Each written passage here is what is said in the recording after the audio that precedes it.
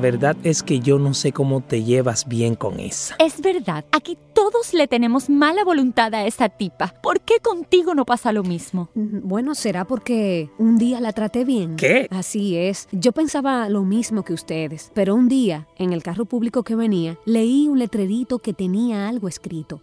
Este es mi mandamiento, que se amen unos a otros como yo los he amado. Nadie tiene amor más grande que el que da la vida por sus amigos. Ustedes son mis amigos si hacen lo que yo les mando. Esto les mando, que se amen unos a otros.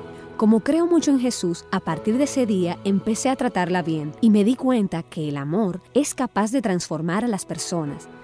Como ella, existen mucha gente que lo que necesita es sentir que alguien las quiere. ¿Qué cosa?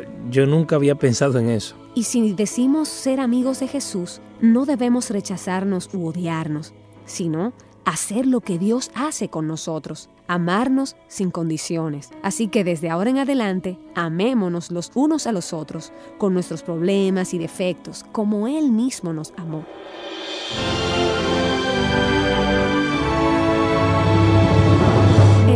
Los Testigos fue una presentación de la revista Rayo de Luz, Palabras que Iluminan.